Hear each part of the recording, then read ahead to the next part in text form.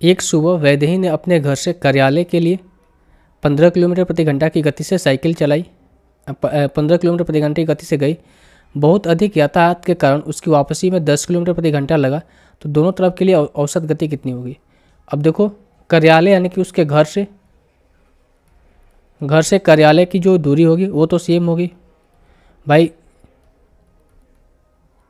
ऐसा थोड़ी है कि इधर से जाएगी तो कार्यालय पहुँचने, कार्यालय की दूरी दूसरी हो जाएगी और कार्यालय से घर आएगी तो दूसरी हो जाएगी। उन्होंने सेम रूट का इस्तेमाल किया तो यहाँ से डिस्टेंस क्या हो जाएगा? सेम हो जाएगा। दूरी अगर समान है तो हम कह सकते हैं इन केस में क्या होता है कि औसत चाल इक्वल्स टू क्या होती है?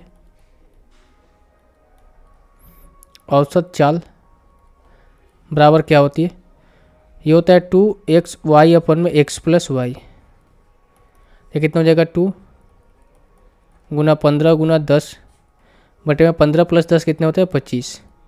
पाँच तीन पंद्रह, पंचा पच्चीस, पाँच दूनी का दस, तीन दूनी का छः दूनी का बारह। तो बारह किलोमीटर प्रति घंटा क्या आ गया इनकी? औसत चाल आ गई ऑप्शन नंबर डी।